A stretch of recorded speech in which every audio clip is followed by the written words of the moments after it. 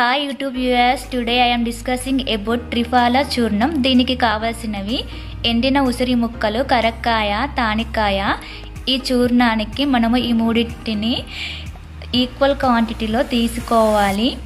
దీనివల్ల చాలా యూజెస్ ఉన్నాయి. దీన్ని మెయిన్గా ఫ్రీ మోషన్స్ అవ్వడానికి యూజ్ చేస్తారు. మనకి మోషన్స్ ప్రాబ్లం చాలామందికి మోషన్స్ ప్రాబ్లం ఉంటుంది.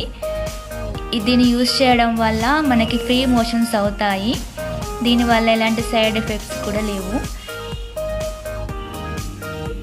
వీటిని కరక్కాయ అంటారు. ఈ కరక్కాయని చిన్న చిన్న పీసెస్ చేసి ఆ పీసెస్ని వాటర్లో వేసి ఆ వాటర్ని తీసుకోవడం వల్ల మనకి వామిటింగ్ సెన్సేషన్ అనేది రాదు.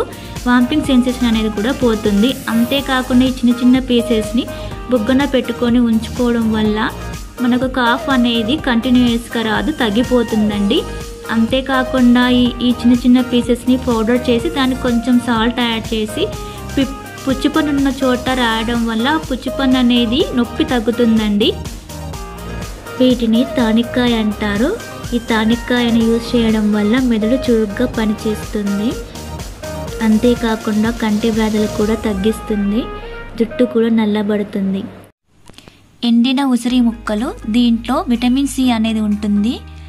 Improves the immunity helps in digestion improves the skin health promotes the hair growth improves the eyesight ఈ ట్రిఫాలా చూర్ణాన్ని నైట్ పనుకునే ముందు వన్ టేబుల్ స్పూన్ తీసుకొని గోరువెచ్చని నీటిలో కలిపి తీసుకోవాలి.